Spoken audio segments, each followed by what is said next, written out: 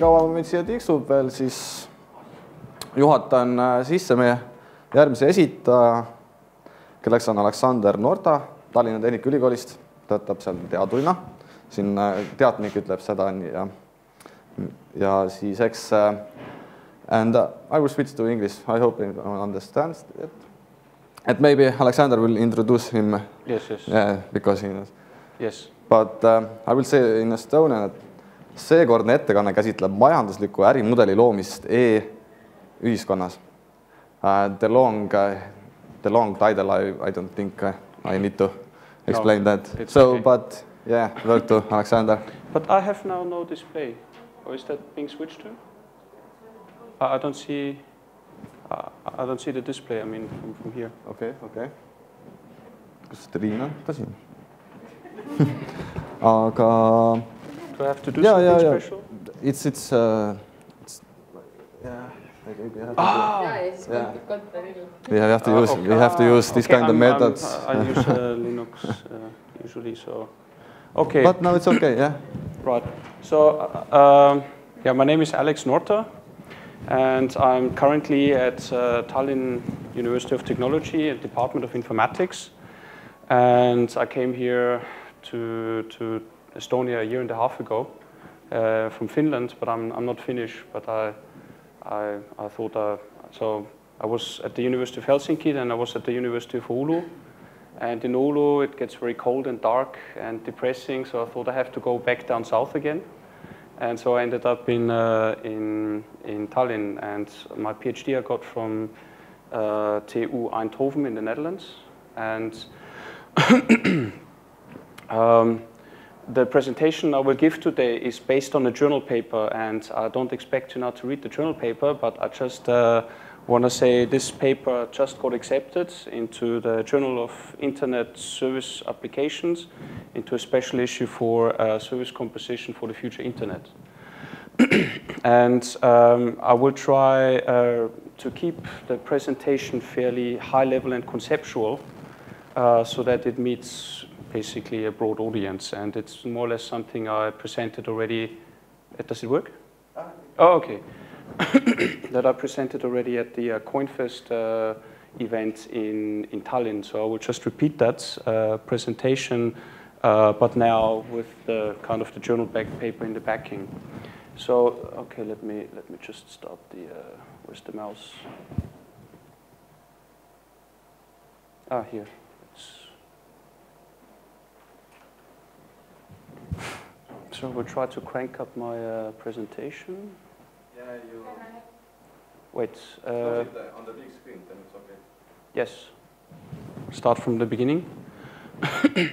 and I had, um, I was kind of in a dilemma, so maybe I should start telling about the background. And uh, first, I would like to ask who uh, took part in the blockchain workshop or uh, Bitcoin workshop. One person, okay. Uh, two, two, okay, good. And who does not know what bitcoins are? Oh, okay. So it's basically a form of electronic currency, essentially. Uh, who knows what is blockchain technology? I thought so. One person, and um, was actually quite good. We had some nice chat uh, yesterday about the positive or not so positive uh, aspects of it. But um, I was in a dilemma when I did my PhD once upon a time in, in Eindhoven. Uh, I came up with these uh, ideas about cross-organizational collaboration automation using back then service-oriented computing. Now it would be cloud computing, and um, I was always something missing. Uh, so this was part of an EU project, but uh, somehow um, um, after the project uh, uh, was finished and my defense was finished and I continued with the research, I realized there's something missing. And um, actually, very recently, I realized uh, what, what it was, or at least uh, what, what now comes in very handy to sell my work from back then now in a, in a better way. And this was really this blockchain technology. When, so just as a, as a small explanation, when we talk about the blockchain, um, the, uh, that's basically part of, of, of what people usually know as Bitcoin. So Bitcoin as a blockchain, which is something like a yeah, heavy distributed uh, transaction machinery. And, um, and on top is a protocol layer uh, where you can program things, not in Bitcoin, but in other solutions that are upcoming, like Ethereum.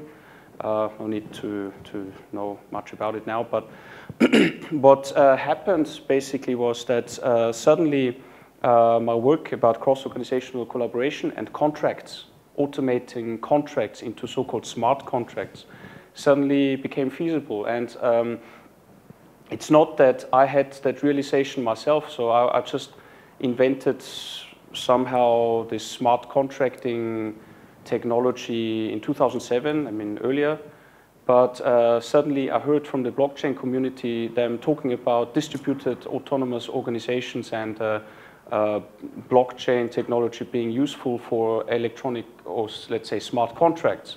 And that's where uh, I became quite excited and uh, immediately took some, some chapter from my old PhD thesis and converted it into the paper and this presentation kind of. So in my presentation, um, what's going to happen is uh, I basically share it. Uh, there's some link I realized uh, that's missing. Basically here the smart contract should link to the journal paper just in case somebody's interested. So, so you have the preprints.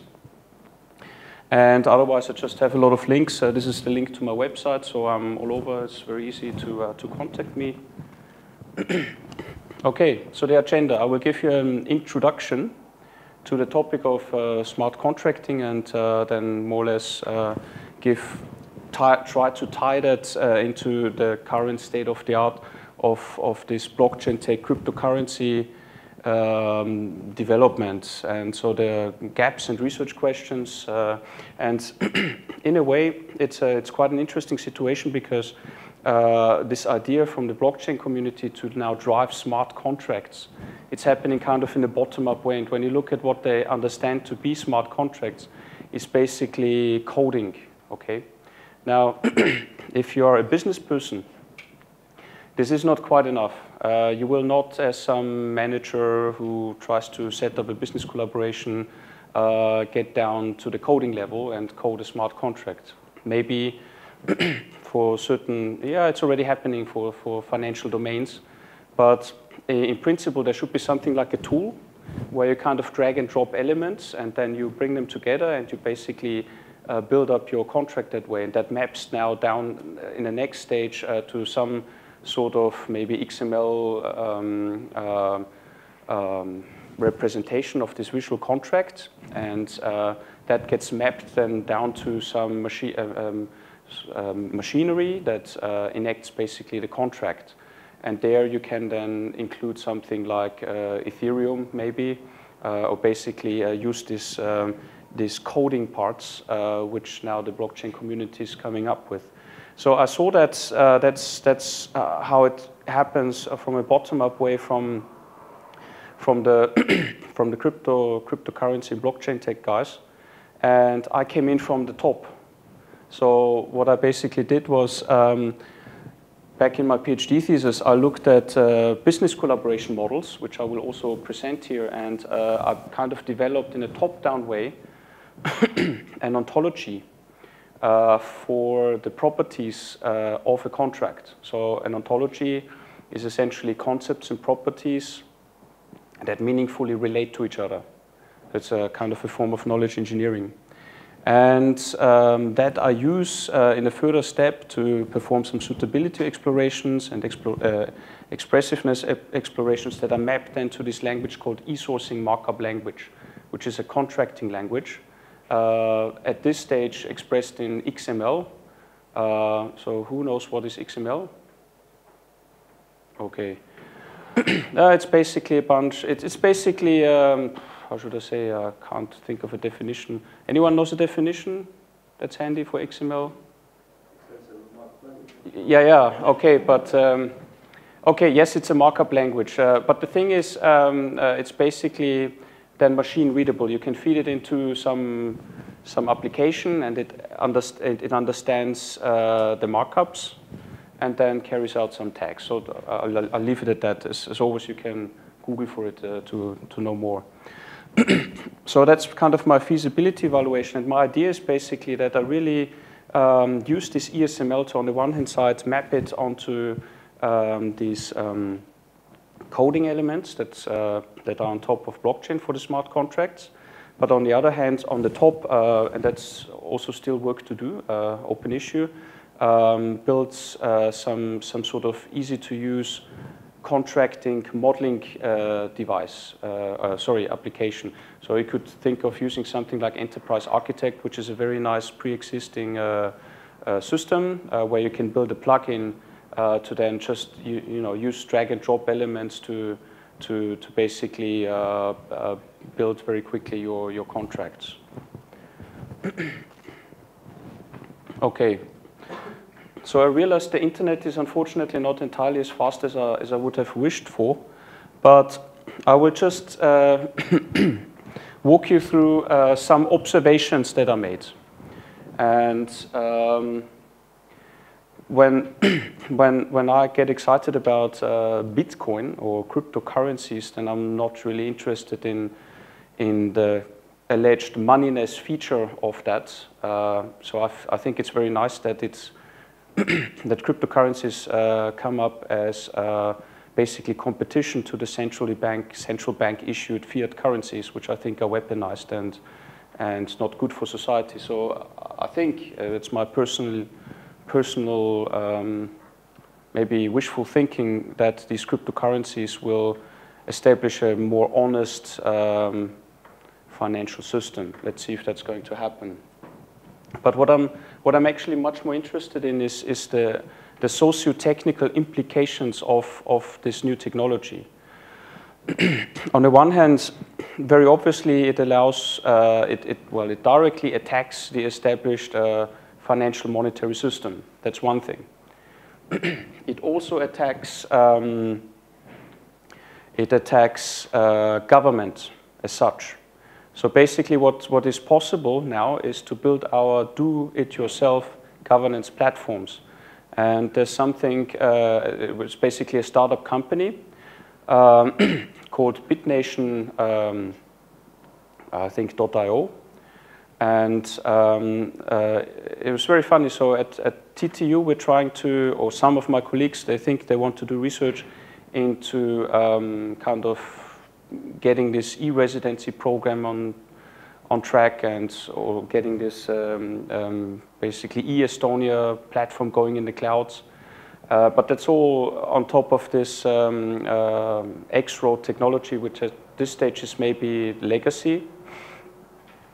Um, so you might have heard of a fellow called Taavi Kotka, who ran around and very successfully advertised this e-residency program. and it created a lot of, um, a lot of uh, interest. The problem now is that um, the e-residency people unfortunately don't know what to do with it. There are a lot of issues with changing the laws.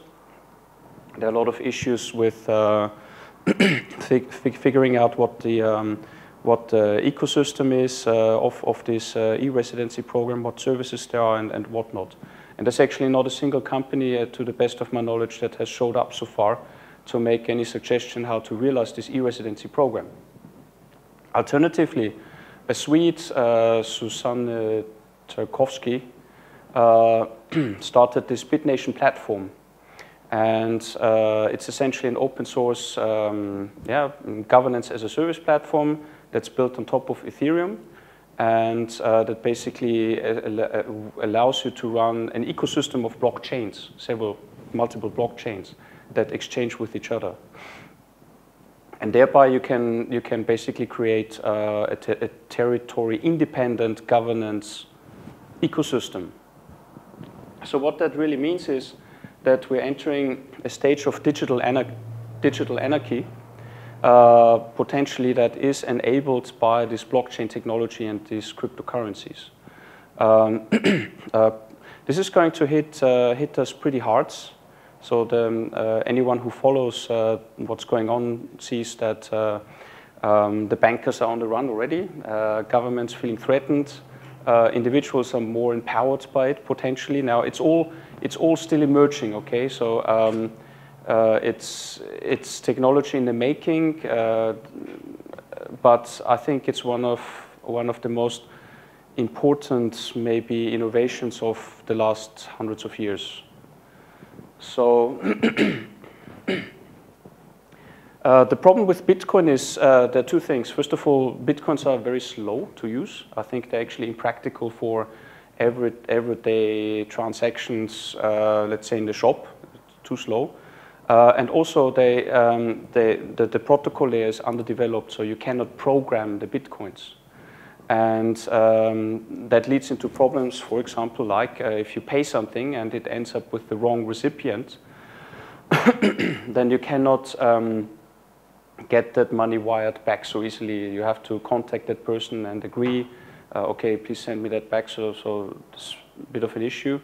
But alternatively, um, um, a currency emerged which is called ultra coins. And it uh, was, to the best of my knowledge, the first coin type that actually uh, started to develop this protocol layer with um, Turing complete uh, language. So um, suddenly it became possible to uh, program contracts on top of the money. So you get smart money. And uh, so the fellow who pushes these ultra coins is uh, called Reggie Middleton, and he's quite often on, on YouTube's, uh, YouTube interviews. And he's in New York uh, with the financial, you know, part of the financial um, industry. And he's already starting to compete with uh, hedge funds and banks and um, all sorts of traders who at this stage still get a lot of bonus for just shoving some, some financial products around. And uh, that's actually irrelevant. Uh, the, the, existence is basically irrelevant. So you can fully replace them uh, with uh, more or less using these uh, ultra coins.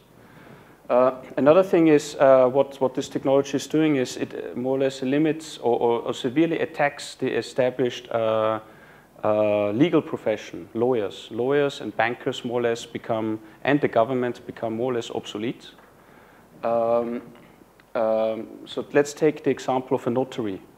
So you have some documents and uh, you need maybe some, some legal uh, proof of, uh, of, of, of, validity or existence. Well, I'm not a lawyer, but um, um, I know when I, when I moved around from different countries at times, I had to have some sort of documents uh, stamped and approved by, by a lawyer that, okay, they are legally acceptable. And it's very cumbersome, takes a lot of time, and, um, and yeah, it's expensive. Alternatively, you could uh, use such a service like proof of existence.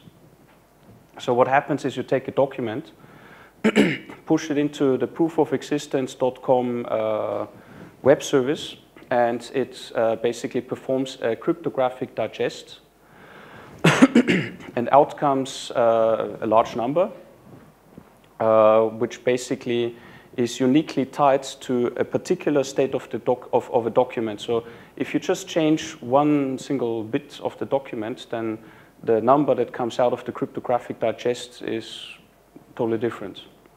Uh, and actually, uh, so that way uh, you can make a proof of existence. So very recently, um, um, somebody actually used this type of technology to develop a blockchain-based uh, passport. So passports are actually, well, uh, I think, uh, I mean, to me personally, there were some, some very silly instruments of control uh, issued by the state for coercive reasons uh, to keep us somehow on, on the plantation.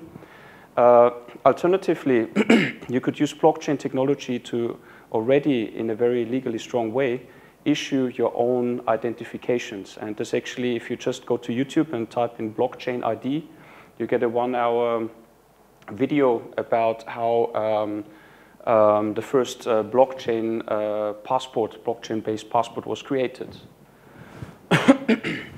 now, this proof of existence, actually what I did uh, with this paper I showed you in the beginning, the journal paper, it's a preprint uh, just to show you another way how you can use this technology. And uh, the editors of the journal, to my opinion, did a very bad, bad job with the editing. And I couldn't convince them that it's a bad job and they will go ahead now anyhow and publish my paper. But the paper I have here is the one I approve of. and I want to make sure when I send this paper out now uh, to other parties uh, that it remains in, in, in, the preprint state as it is. So what I did was basically, uh, um, there's another service that I used uh, called bitproof.io. So I just, once again, performed a digital digest. And I have now a version uh, that uh, allows me basically to make sure that when I send my document out, I always have a checking mechanism uh, to, to make sure the state of this document remains frozen as it is and nobody can just manipulate it on a way and, and, and mess it up. so more or less, um, the algorithms ever more become the law. Uh, the blockchain takes over ever more functions that uh, lawyers uh, used to perform. Uh, the financial system can be abolished. Uh, the government is on the run. And also what certainly blockchains enable with smart contracts is um, a change in business. Um, um, they enable essentially uh, decentralized autonomous organizations that can loosely uh, collaborate with each other, but still in a, in a trust in a, in a, in a trust enforced way and in, in a way uh, um, of, of non-repudiation. So this is uh, potentially quite interesting uh, because it uh, directly also attacks the centrally planned corporatism system, which is currently the business mainstream. Okay, and we can uh, potentially move um, once again back to to a way of doing business which adheres much more to free market economics principles, the way how it actually should be, without all that centrally planned corporatism that we have at the moment. So um, the blockchain changes the contract law. Uh, there are already some, some existing solutions, I mean, um, like low-level solutions. Uh, one is BitHalo as a lightweight smart contracting option. There's a white paper I linked to. the, the more, the heavier version is called Ethereum. Uh, for smart contracting, also here, uh, I add a white paper. And the fellow who actually leads this entire Ethereum initiative is called Vitalik Buterin. And he's 21 years old, and he just won a very prestigious uh, networking prize, where uh, he beat uh, actually uh, Zuckerberg for Facebook. So um, the other thing, uh, so once we say, okay, we have, we have this option to, to do smart contracts and we enter a world of free market economics, then we need to have platforms where we can actually meet each other and, and contract. So what's also coming up uh, very strongly is uh, escrows uh, for uh, tendering and positioning uh, requests for quotes and, and price and whatnot and, and uh, surfing uh, basically as a platform for, for setting up business collaborations between decentralized autonomous organizations. So you could say this, this escrows, uh, by the way, that's uh, quite a nice uh, startup idea to push. And actually, I'm trying to do that with another person at the moment for a company in Germany to build such an escrow for trading software as a service. Um, yes, and it all culminates essentially in what I told at the beginning, that we can now build our own BitNation platforms as a governance 2.0 option outside of the uh, existing status paradigm. So uh, on BitNation, we can basically register ourselves. Uh, we can freely choose uh, which BitNations we want to, to join.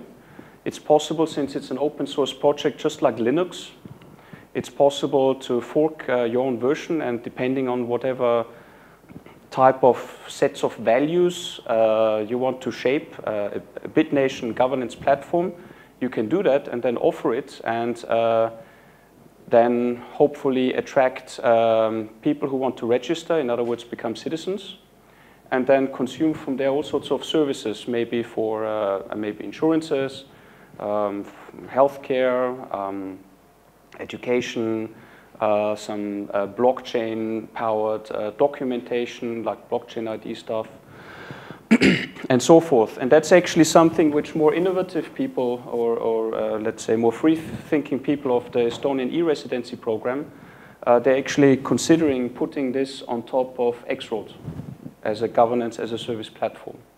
And uh, based on my knowledge, actually LHV Bank of Estonia, uh, they forked a version and in the Mektory of, of, uh, of TTU, they set up uh, more or less a lab uh, experimenting with BitNation for governance as a service platforms on which they would like to trade their financial services as a start and then basically keep it open uh, so that also other companies uh, can basically offer their services through such a platform.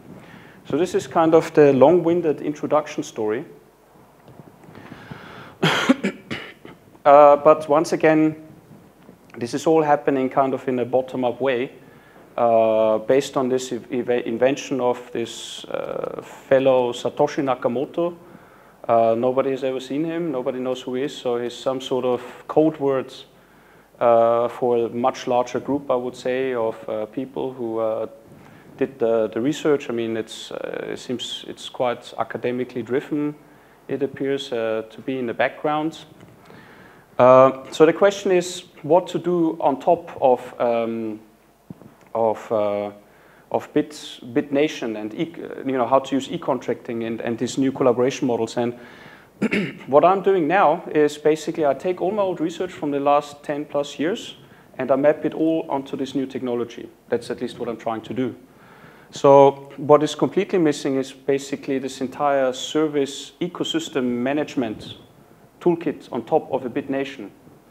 And just recently, actually, last year, I published this, uh, this uh, journal paper, um, which uh, precisely um, specifies uh, such, such, such a toolkit.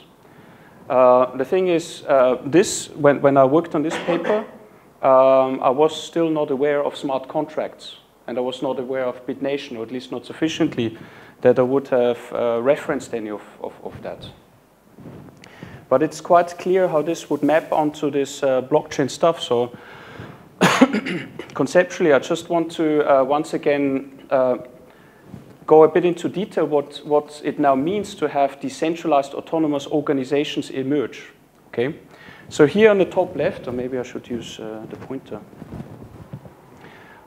we have uh, a typical organizational representation of the current paradigm. Centrally planned corporatism, okay, has nothing to do with free market economics or capitalism. Capitalism is something else than centrally planned corporatism just to point it out.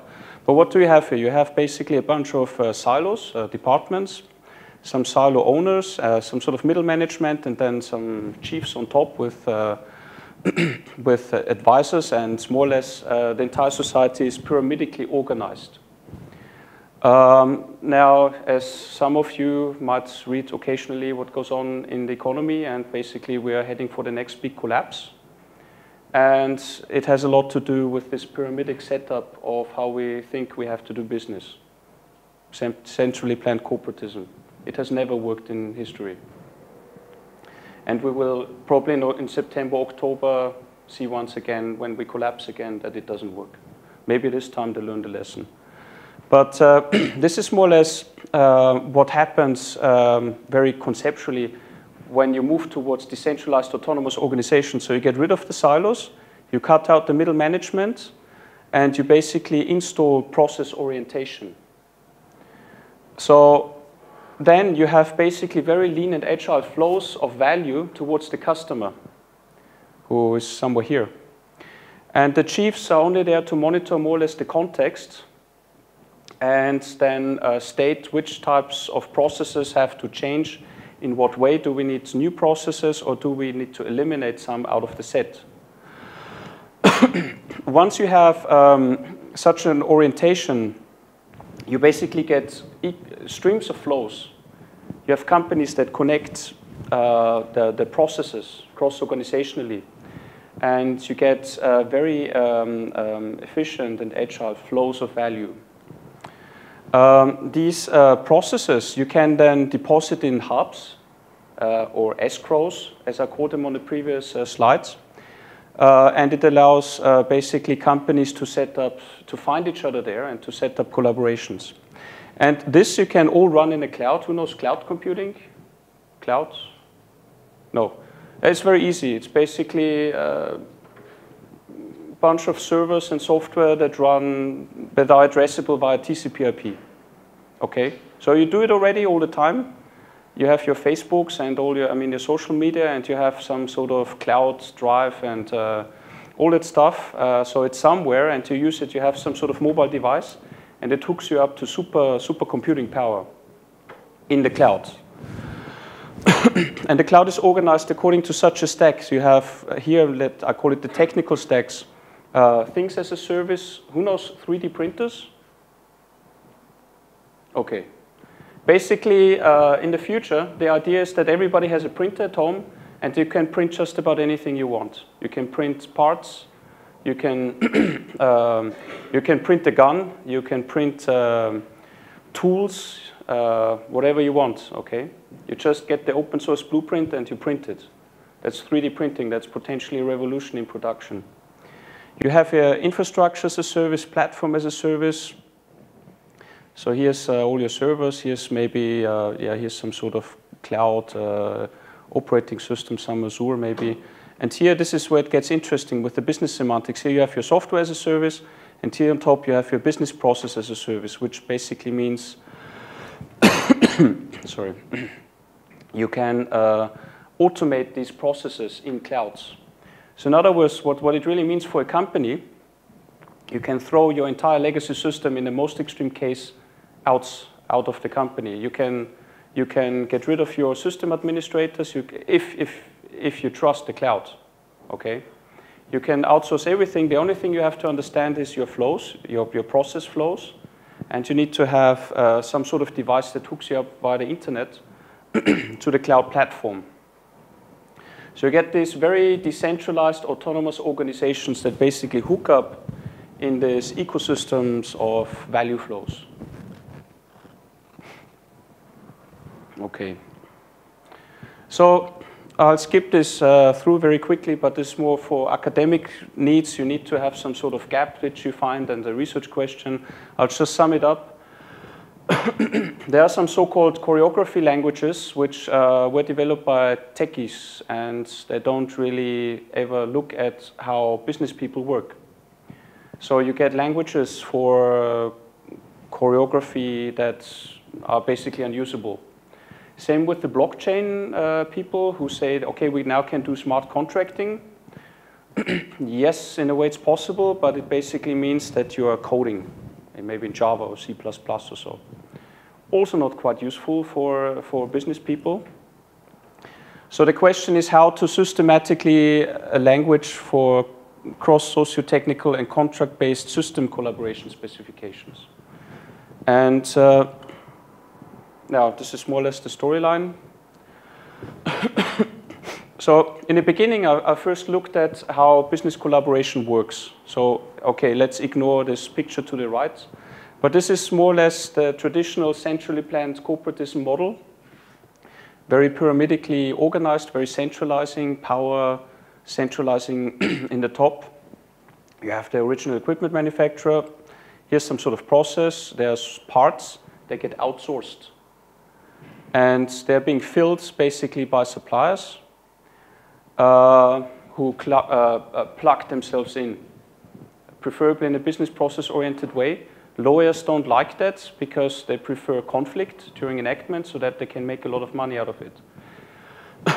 if you adopt proper uh, process oriented uh, ways of, of basically doing business, then you can just uh, take a lot of the conflict situation out of your collaboration scenarios right uh, during the setup phase. But this is a larger story uh, which uh, I will not get into in full detail.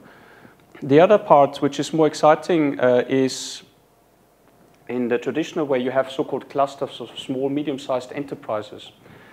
They have by themselves meaningless services, but when they plug themselves together, they can build a service, or basically create a service that suddenly becomes interesting for a high-level service consumer to consume, who's then himself, once again, a supplier to an original equipment manufacturer. so let's say you build a truck, and this is how it would work. Let's say MAN with its suppliers, and this is maybe the Upper Austrian automobile cluster. Uh, and these were the concrete uh, industry partners of my research project that funded my PhD thesis once. but now this is much more interesting because we're going to the point of decentralized autonomous organizations, right? So to cut this long story short, um, the way the small and medium-sized enterprises work in a cluster to collaborate in a peer-to-peer -peer way, this is more or less the model for decentralized autonomous organizations. And what you have is basically a business network model with service types into which service offers can be plugged in. And they are backed then inside of uh, service providers by larger in-house processes. So um, basically the contract comes into existence here on this external layer. Okay, so in the case of uh, of um, of a pyramidically organized uh, uh, collaboration, this would be your original equipment manufacturer, and this would be your suppliers. and here the contract would come into existence because of process views that need to match. In the peer-to-peer -peer case of decentralized autonomous organizations, uh, what is the original equipment uh, manufacturer is replaced by so-called business network model that, that is some sort of blueprint. And um, the contract basically spans these two parts. And uh, yeah, this uh, and, and allows basically after negotiation process uh, the companies to, to become part of, uh, of an e-community of decentralized autonomous organizations. So I did an ontological uh, analysis um, um, first of the so-called suitability um, features of an e-contracting language.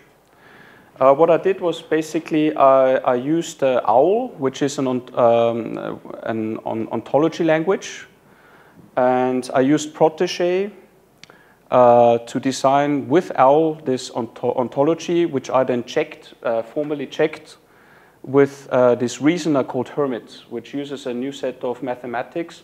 So uh, complex ontologies that you build in OWL used to take uh, quite long. I mean, if it's a bit more complex, uh, to, to, to check with reasoners.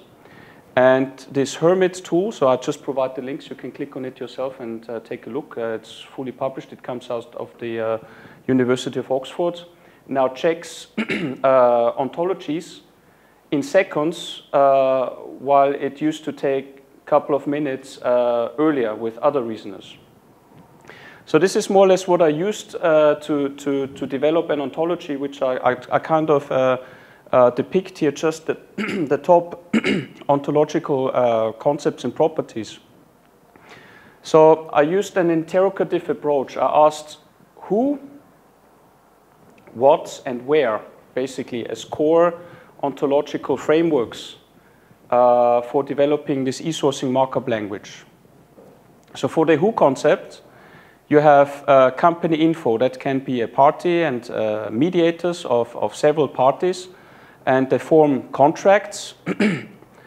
and uh, basically, a mediator can serve uh, several parties that engage in, in, in a contract. Um, there's company info.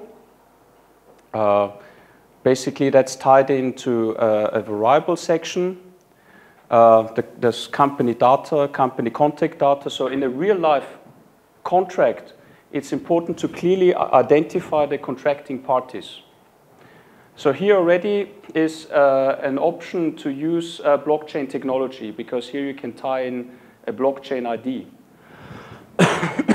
and during setup time, uh, when you use an escrow, you can basically use uh, a brand new, in, in, in, principle, that's something I discovered only two days ago, uh, there's a variant of Bitcoin called NEM. So NEM stands for New e Economic Model. Basically, it's a Bitcoin that um, employs um, a trust and a mathematical trust and reputation model that comes out of a University of Stanford to basically assign uh, currency. So trust and reputation that way becomes uh, a currency in itself, which you can use during the setup phase of, um, of, of, um, of an e-community uh, using electronic contracting. Uh, also, um, within, well, the parties, they have resources and they operate within a certain context. the, where, the where concepts. So, uh, you have the context provisions. Uh, there are several sections involved. There's a process section. As, as I told you before, uh, uh the parties that collaborate are process aware. So they use process view to basically set up their contractual collaborations. So in other words, the process views become parts of the contract and they're backed up in-house by larger in-house um, uh, processes that are extensions of the process views. So that way, you can basically protect your business secrets. Um, okay, so part of the context is the legal context. Let's say you have uh, case law, Anglo-Saxon case law, versus uh, maybe Roman law, uh, like continental European law. You have certain business context provisions, um, maybe some additional regulations that uh, a certain cluster agrees or, or, a certain industry segment agrees to, some other contextual provisions, and all of that goes into the formation of a contract. so the what section, or the what concept, so the, con the contract is in the middle, and here we have exchanged values. So the assumption is that uh, we have certain services, that are on offer. And you could, on the one hand side, maybe assume there's a sort of a barter situation going on where you have a service being traded for another service. Or alternatively, you could trade a service for a financial reward. reward. This could, your, this could be, of course, on the one hand, your old school weaponized uh, central, central banking issued uh, fiat currencies like the euro, or the dollar. But if you want to have a more honest um, system, you could consider here, of course, uh, all sorts of uh, cryptocurrencies. Dark coins, uh, bitcoins, litecoins, whatever coins. You can pick out of, I don't know how many are there, 500 or something by now. I'm sure many of them will not make it, but anyhow. And then you have additional exchange provisions. Um, there once again, you move into further details about the process section. Uh, so important is um, here that um, you create basically um, additional constructs of monitoring that are important for, um, for the enactment phase. So you don't want to monitor everything that goes on with your collaborating counterparties. There's maybe just certain parts which are of interest. Uh, some parts either are not inter of interest or your counterparty does not want to let you peep in. uh, is there some water somewhere? It doesn't matter. Well. Okay, another, another important, so of course you need variables and rules. Uh, so rules you combine uh, with uh, the process parts. Uh, one option is that you use the rules for, uh, for um, um, defining conditions uh, that determine which paths of a process you take, let's say if you have an OR split. And then uh, there are extra snippet sections. So I further explored that in a pattern-based approach, which I published about. Uh, so basically these pattern explorations, I will not go into detail. Here's uh, the publication. Here's the free PDF. Uh, so you can take a look at that yourself. Uh, and these patterns are um, meaningful uh, for setting up cross-organizational e-contracting configurations. That's all I, I want to say about it. So it's about monitorability, I raised that already before, contractual visibility, uh, patterns basically that allow you to protect your privacies, and controlment patterns for uh, data exchange. so um, for the expressiveness, so uh, expressiveness basically means you need to back it all up by mathematics, okay? And that's what I did here. Uh, more or less uh, this kind of ontological and pattern-based suitability exploration so that I capture all the, the concepts and properties relevant for cross-organizational collaboration. It's important to, uh, to give it semantics. And you give it semantics through mathematics. Uh, why is that important? Because you need to have clarity about what you, uh, what, what you define. If you have no semantics, then nobody knows what stuff means. Then uh, you define something, uh, a collaboration, and I understand it in one way, and somebody else understands it in a different way.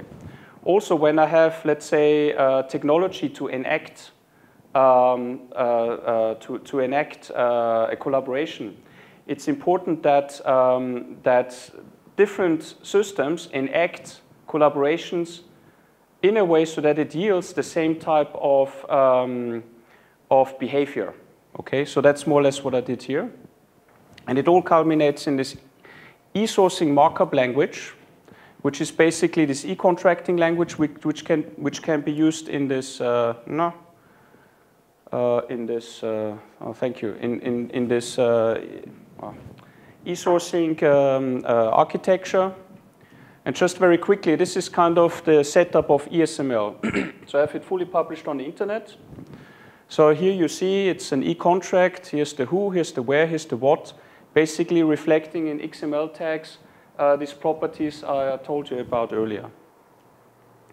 This is then um, basically the, um, the toolkit, the, an architecture of this toolkit, which, uh, which I also published about, and which could be implemented on top of a BitNation governance as a service platform. So, okay, I'll skip that through also because I think my time's up soon, right? Yes. So here's still uh, kind of a life cycle for e-contracting. And this is kind of an architecture for this escrow uh, that I also talked about earlier. Again, I have the paper, it's published. I presented it in Silicon Valley, and you can just download it and read it yourself. So that's more or less it. And uh, wow, on the mark. So just to, to, to wrap it up, to wrap it up. So um, this ESML, uh, it's kind of interesting because as I, as I said, I, I developed a solution but I couldn't meaningfully map it onto a problem. And I hope now, uh, with all this e-contracting uh, technology coming out of this uh, blockchain community, it will be possible to map these uh, results, which are kind of academically developed in a top-down way, to map it onto this technology, which emerges in a bottom-up way. Okay and thereby, uh, hopefully, we'll get kind of um, a solutions landscape that will allow to really run these decentralized autonomous organizations, will destroy the established banking system, uh, will compete with uh, the dinosaur government system, and basically reinstate free market economics as we should have it, and uh, allow us to drop centrally planned corporatism. So that's kind of uh, what I'm trying to aim at. I don't know if it will work out. I will try my best. Uh, but um, I think uh, potentially we're heading for a lot of change, socio-technical change, which at least I find quite exciting. And I think in five years from now, we'll live in a reality uh, which by now we probably can't even imagine. So that's all I want to say. So uh, any questions? No questions?